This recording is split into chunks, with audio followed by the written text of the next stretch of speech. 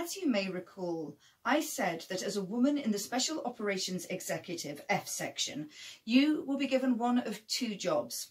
One being a courier and the other a wireless operator. And that is what they chose me to do.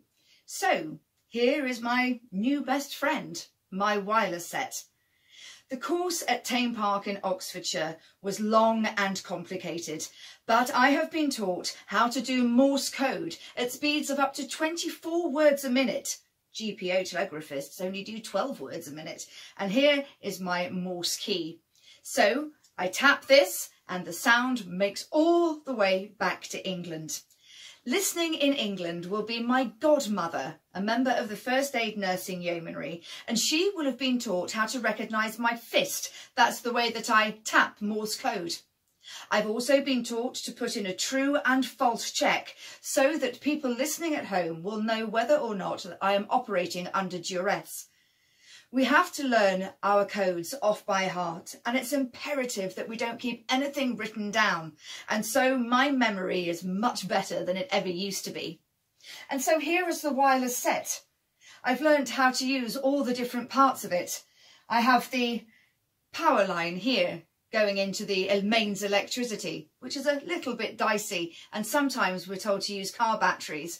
And then the aerial, now, I've heard some girls in the field are very clever at disguising the aerials. One girl in particular puts it along her washing line. Then we have the valves and the most important thing, the crystal, which helps set the frequency. These crystals are brought to us by brave couriers and they risk life and limb to make sure that we can use our wireless equipment. But we risk life and limb too.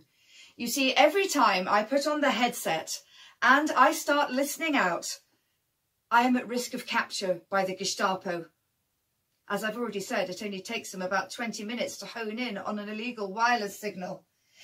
The suitcase radio is very clever. We can put things over the top of it, such as cosmetics or medical equipment, to make it look like we're representatives of those particular professions. And we can carry the suitcase around.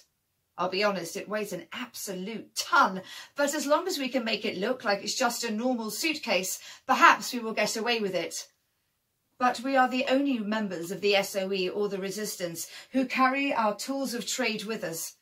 And if we are caught, then we will find ourselves in great trouble.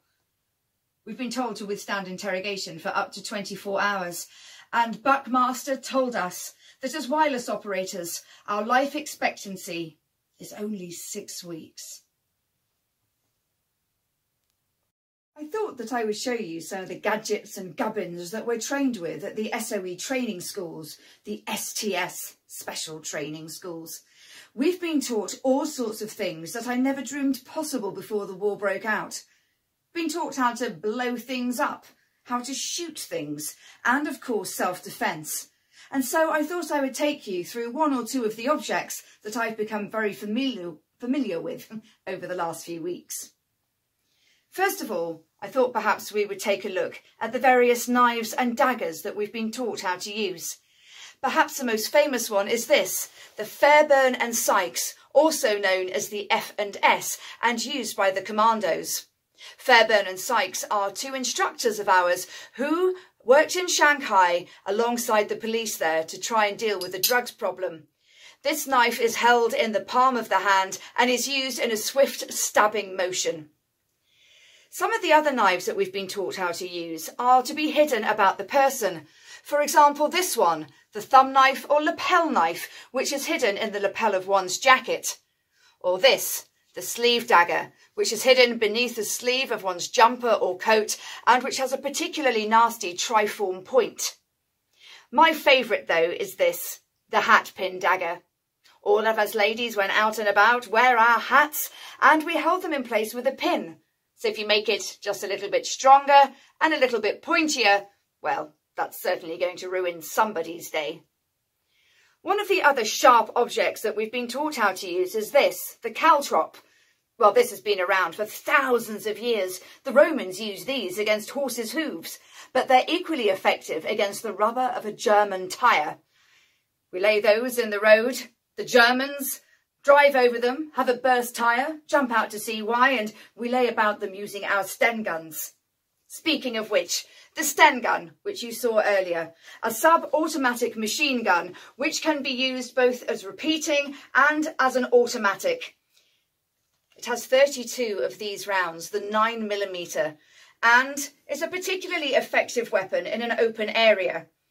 That said, it's not terribly accurate, and with the open spring mechanism that you see here on the other side, can be prone to jamming, or indeed going off on its own. Another assassin's weapon, if you like, is this, the Welrod, developed in Welwyn Garden City. In fact, anything with the prefix well was developed there. The Welrod is a suppressed weapon. This means it's effectively silent apart from the moving mechanisms. Again, it carries the 9mm and then we are taught how to blow things up. One of the primary objectives of the Special Operations Executive is sabotage, blowing up factories or railways. Particularly effective for this is plastic explosive. It comes wrapped like this, but effectively looks like yellow plasticine.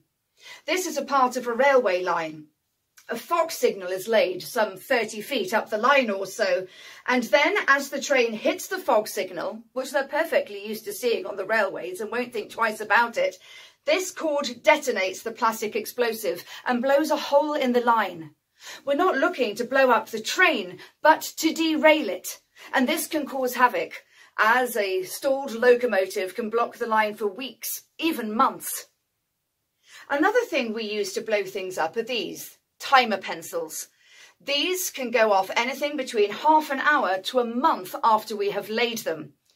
They are relatively effective, although it has taken some development to get them absolutely right. And then the hand grenade, almost unchanged from the First World War. This, when it explodes, explodes into uh, small fragments or shrapnel and can cause immense damage, particularly in small areas.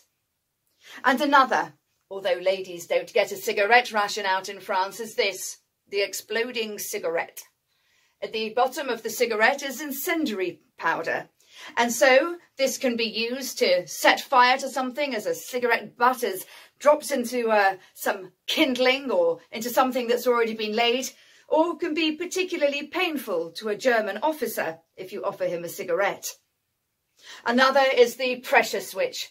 This is set off and something heavy is put on top of it. And when the heavy item is lifted, the whole thing blows up. One last thing that we are taught is the art of clandestinity, and we have to use dead letter drops.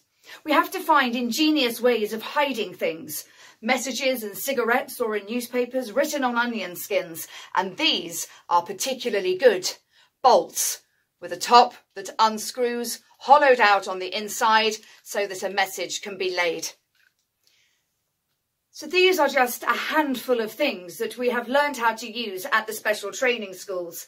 And when we go into occupied territory, I just hope that some of these things are made available to us and we can go out and fulfil our mission of setting Europe ablaze.